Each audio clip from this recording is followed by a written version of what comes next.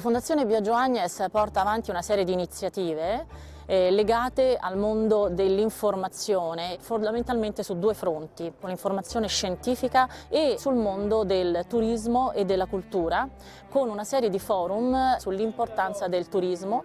dell'enogastronomia e come cambia l'esigenza di un turista quando va in giro per il nostro bellissimo paese.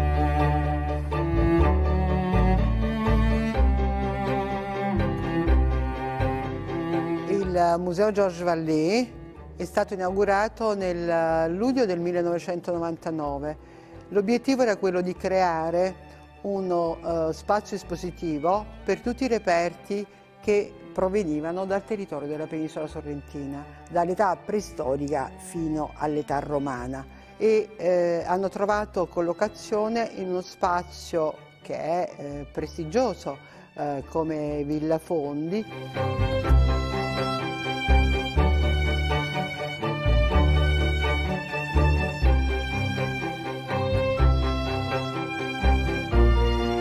Queste collezioni del museo, riguardando tutti i comuni della penisola sorrentina, rimandano anche a dei percorsi turistici sul territorio, un percorso turistico-culturale che non c'era, soprattutto perché si dava ed è anche giusto, una maggiore diciamo, ehm, importanza alla godibilità del paesaggio e del mare e questo paesaggio noi l'abbiamo eh, esposto integrandolo anche nella storia dell'occupazione antica di questo territorio.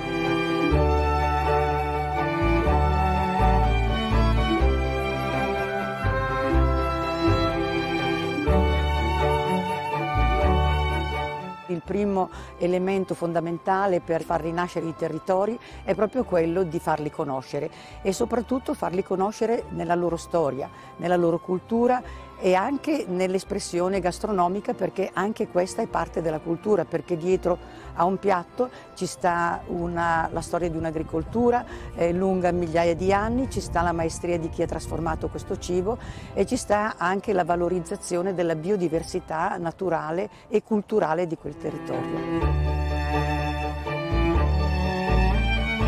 Accanto alla cultura il cibo è quello che attrae tantissimo e può attrarre anche persone che non sono particolarmente sensibili alla cultura però che si convertono alla cultura attraverso il cibo. Mi rivolgo principalmente a queste terre perché in Campania troviamo eh, le bellezze eh, culturali, le bellezze artistiche, eh, posti meravigliosi, antichi, che con grande fatica la Regione Campania cerca di supportare e di mantenere intatti nel tempo e di mettere soprattutto a disposizione di tutti, di tutti i turisti che viaggiando oltre al mondo dell'enogastronomia cercano anche le bellezze artistiche. In Campania trovano tutto questo.